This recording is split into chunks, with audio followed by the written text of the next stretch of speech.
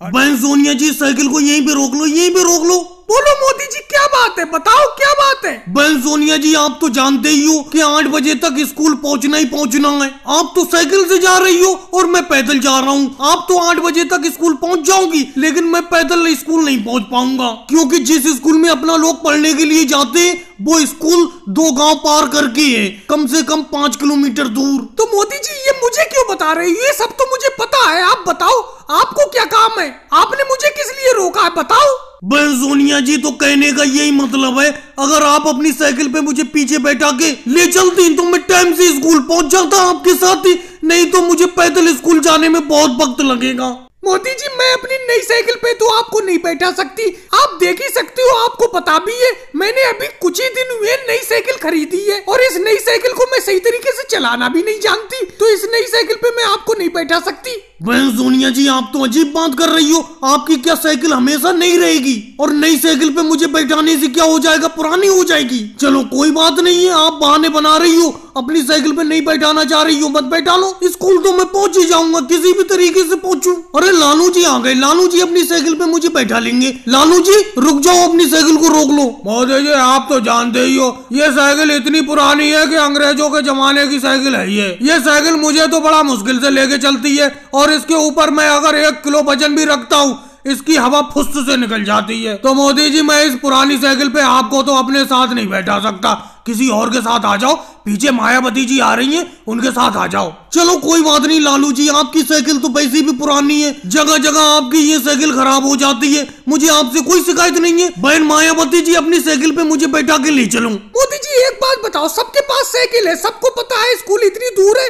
लेकिन आप पैदल ही खड़े हो जाते हो और किसी न किसी की साइकिल पर बैठने को कहते हो, ऐसे आपको कब तक कौन साइकिल पे बैठा लेगा? मैं तो आपको नहीं ले जाऊँगी। कोई बात नहीं बहन मायावती जी। ममता दीदी, आप अपनी साइकिल पे मुझे बैठा के स्कूल ले चलो, नहीं तो स्कूल जाने में मुझे देर हो जाएगी। चलो मोदी जी कोई बात नहीं आपको देर हो जाएगी मेरी साइकिल पे बैठ जाओ आ जाओ और भाई लोग कहाँ से कबूतर? लेकिन मोदी जी कहा से तो कलकत्ता भी होता है। कहा से कबूतरी क्यों पढ़ाते हो आप? ये बात मुझे अच्छी नहीं लगती। लालू जी तुम बातें ज़्यादा करती हो इसीलिए हमेशा दस में से माइनस दो नंबर लाती हूँ। तो मोदी जी दस में से माइनस दो नंबर मिलते तो है मुझे। दस में से पूरे माइनस दस नंबर तो नहीं मिलते मुझे। इसका मतलब मैं पढ़ने में अच्छा हूँ लेकिन फिर भी आपने मेरी बात का जवाब नहीं दिया। कहा से कबूतरी क्यों होता है? कहा से कलकत्ता क्यों नहीं होता? और कब तक हमें इस पेड़ के नीचे बैठाल के पढ़ाते रहोगे? फ़ीस तो पूरी सौ रूपए महीना लेते हो। लालू जी, बस कुछ दिन का इंतज़ार करो। लोन के लिए एप्लीकेशन डाल दी है मैंने। लोन पास होते ही एक छोटा सा कमरा बना लूँगा। उसी में तुम लोगों को पढ़ाया करूँगा। मोदी जी, कमरा तो बनाना ही पड़ेगा। कल बारिश आ गई थी, पूरा दिन आप हमें बारिश में ही पढ़ाते रहे और आप ब्लैक बोर्ड पे लिखते कुछ थे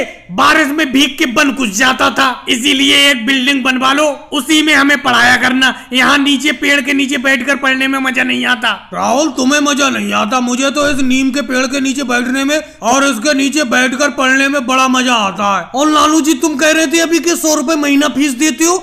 अरे तुमने साल भर के पूरे सौ रूपए जमा किए। तुम तो दस रूपए महीना से भी कम फ़ीस देती हो। दस रूपए महीना फ़ीस देती हो और बिल्डिंग में पढ़ने की बात करती हूँ। ये एक गरीब स्कूल है और इसमें पढ़ने वाले भी सब लोग गरीब हैं। तो इसी तरीके से पढ़ते रहो, जैसे बैठ के पढ़ रहे हो। लेकिन मोदी जी, अभी तो आप कह रहे थे कि लोन के लिए मैंने एप्लीकेशन डाली है लोन पास होने वाला है। अरे, वो तो मैं मज़ाक कर रहा था तुम्हारा दिल रखने के लिए। यही पेड़ के नीचे पढ़ते रहोगे तुम हमेशा। पता नहीं आज अखिलेश पढ़ने के लिए क्यों नहीं आया? अरे, अखिलेश आ गया। अखिलेश, इतनी लेट कैसे आए हो पढ़ने के लिए? मोदी जी, अगर मैं जल्दी आ जाता तो जल्दी भी ऐसी कौन सी चीज़ आप मुझे पढ़ा देते? आपने कहा से कबूतरी पढ़ाया होगा? कहा से कानपुर थोड़ी पढ़ा दोगे तुम? अखिलेश टीचर से इस तरीके से बात करती जाके नीचे ज़मीन में बैठो। वैसे अखिलेश पढ़ा तो मैं कहा से कबूतरी रहता लेकिन मोदी जी, आप तो कह रहे थे इस महीने बेंच ले आओगे, बेंच पे बैठ के पढ़ाया करोगे। नीचे ज़मीन में बैठे बैठे पैरों में दर्द होने लगता है। केजरीवाल जी ऐसी ज़मीन में नीचे बैठे रहो। दस रूपए महीना फ़ीस में तुम बेंच के ऊपर बैठ के थोड़ी पढ़ोगे नीचे ज़मीन में ही बैठ के पढ़ो। और भाई लोगों को वीडियो को लाइक करो चैनल को सब्सक्राइब करो। मोदी जी क्या करें? अपना लोग भी खेतों पर चले। बहुत दिन हो गए यहाँ पर बैठे बैठे। देखो राहुल भैया भी खेतों की तरफ़ जा रहे हैं। और एक दो दिन पहले बारिश भी अच्छी हुई है। अगले अभी नहीं अभी नहीं कुछ दिन इंतज़ार करते हैं उसके बाद चलेंगे। क्योंकि अभी अपना लोग खेतों पर जाएँगे तो अभी तो बहुत पानी होगा। थोड़ा बहुत पानी को सूख जाने दो, फिर खेतों पे चलेंगे, खेतों की जुताई करने के लिए। और राहुल, क्या हाल है? कैसे चलती है खेतों की तरफ़? मोदी जी, हमें तो काम करना पड़ता है, इसीलिए सुबह ही खेतों पर चल देते हैं। यहाँ पर घर के कोने पर बैठने से क्या फ़ायदा? जितनी ज़्यादा खेतों में मेहनत कर लेंगे, उतना ही ज़्यादा अनाज उग जाएगा खेतों में। अखिलेश कहे तो तुम ठीक रहे हो, लगता है अपना लोगों को भी काम पर चलना चाहिए। वो देखो लालू जी चले आ रहे सिर पर, टोकरी में तीन कद्दू लेकर। अपने गाँव के सबसे सफल किसान है लालू जी। हमेशा इनकी फ़सल अच्छी होती है। और लालू जी, कहाँ जा रहे हो? एक आध कद्दू यहाँ पर हमें दे जाओ। मोदी जी, पूरा एक बीघा खेत में तीन कद्दू की पैदावार हुई है। और उसमें से भी एक कद्दू आप मांग रहे हो। ये बात मुझे अच्छी नहीं लगी। अरे मोदी जी, तुम्हारे खेत तो इतने बढ़िया है।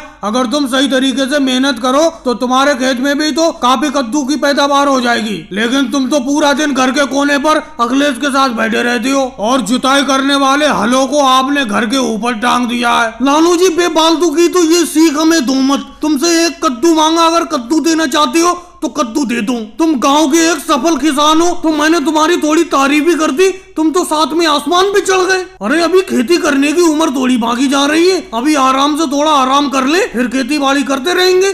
क्यों अखिलेश? अखिलेश बहुत तेज प्यास लगी है। घर से जरा दही वाला शरबत बना के लाना। मोदी जी कल शरबत मैं बना के लाया था अपने घर से। आपके घर के कोने पर बैठे घर में घुसो दो शरबत गिलास बना के ले आओ। मज़ा आ जाएगा एक गिलास मैं पी लूँगा एक आप पी लेना। और अखिलेश मोदी जी अगर तीन गिलास शरबत बना के ले आएँगे दही का तो एक मैं भी तो पी लूँगा। मैं भी खेतों से आ रहा हूँ बहुत तेज प्यास लगी है। मेरा भी गला तर हो जाएगा। वहाँ नानू जी एक कद्दू दे नहीं पा रहे हो? और शरबत पीने की बात कर रहे हो? तुम एक सफल किसान हो, जाके मेहनत करो, मजदूरी करो और भाई लोगों को वीडियो को लाइक करो चैनल को सब्सक्राइब करो। बहन सोनिया जी, आप सब लोग मिलके बातें ज़्यादा कर रही हो, काम कम कर रही हो? अरे मैंने तुम सब लोगों को दान की रुपाई के काम पर लगाया है, लेकिन आप सही तरीके से काम कर ही नहीं रही हो। ये बात मुझे बिल्कुल अच्छी नहीं लग रही है। आप इन लोगों की ठेकेदार हो, कम से कम आप तो काम सही करो। जब देखो आप खड़ी हुई मिलती हो सब लोग, अगर तुम सब लोग खड़े रहोगे तो धान की रुपाई कैसे होगी? देखो मोदी जी आगे देखो कितनी हम धान की रुपाई कर चुके थोड़ी देर भी खड़े होने के लिए नहीं देते हो। एक तो ये धान की रुपाई करना बड़ा मुश्किल काम होता है और आप खड़े ही रहते हो पास में और जरा सा भी हम कम काम करते तुरंत बीच में टोक देते हो। तो बहन सोनिया जी मैंने कौन सी गलत बात कही थी? मोदी जी आपने गलत बात ही कही थी। एक बात बताओ पहले हमारा काम भी तो देखो हम कितनी धान की रुपाई कर चुकी अरे राबड़ी देवी जी अगर काम कर चुकी तो पैसे भी तो ले रही हो मुझसे काम करने के। कोई फ्री में काम थोड़ी करोगी? और मैं कोई ना फ्री में पैसे दे दूँगा तुम्हें? वो देखो स्मृति ईरानी जी मायावती जी से बात कर रही हैं। अरे मोदी जी आपको तो हमेशा बात ही करने लगता है। अरे मैं बात नहीं कर रही हूँ। मैं ये पूछ रही हूँ मायावती जी से कि ये जो खेत बचा हुआ है धान की रुपाई के लिए इस बचे हुए खेत की धान की रुपाई आज हो जाएगी या कल हो पाएगी? स्मृति ईरानी जी अगर लगन से काम करोगी तो इस पूरे खेत की धान की रुपाई तुम सब लोग आज ही कर सकती हो। मोदी जी हम सब लोग इंसान हैं इंसान की तरह काम करेंगे। हम कोई मशीनरी थोड़ी है। आप तो ये चाह रहे हो कि दस दिन का काम एक ही दिन में हो जाए और पूरा दिन काम करने के वही पचास रूपए दिन देते हो आप हमें दिहाड़ी? मायावती जी पचास रूपए कम है क्या? पचास रूपए अगर सही तरीके से खर्च करो तो दो दिन का खाना खर्चा चलेगा। ममता दीदी आप तो काम करने में सबसे ही ज़्यादा पीछे हो। अगली बार अपनी खेत की रुपाई का ठेका मैं सोनिया जी को दूँगा ही नहीं। मोदी जी, एक बात बताओ, हम सब लोग इतने मन से काम करते हैं, आपको काम कम क्यों लगता है? और आप हमें काम से क्या निकालने की बात कर रहे हो? अगले साल को हम आपके खेत में खुद काम नहीं करेंगे। हमारी ठेकेदार सोनिया जी हैं। सोनिया जी, जहाँ पर काम करने के लिए ले जाएँगी, हम तो वहाँ काम करने के लिए जाएँगे। और अगली बार हमें गाँव में मजदूरी करनी ही नहीं है। हम शहर में काम करने के लिए जाएँगे। और भाई लोगों को वीडियो को लाइक करो, चैनल को सब्सक्राइब करो।